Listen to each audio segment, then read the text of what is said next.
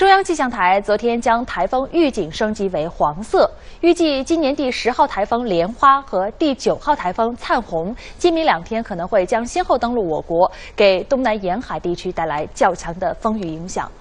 中国气象局目前已经启动重大气象灾害台风三级应急响应。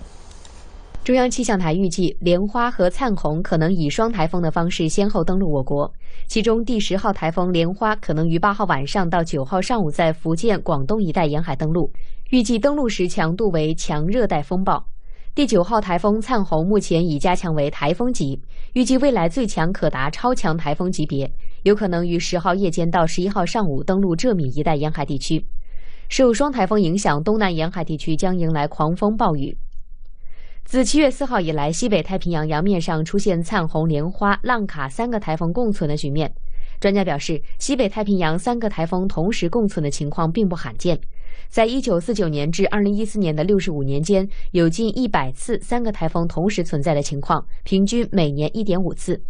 不过，专家表示，以往三个台风同时存在的时间往往很短，最短的大约只同时存在几个小时。而灿红、莲花、浪卡三个台风已经同时存在了三天，是比较罕见的。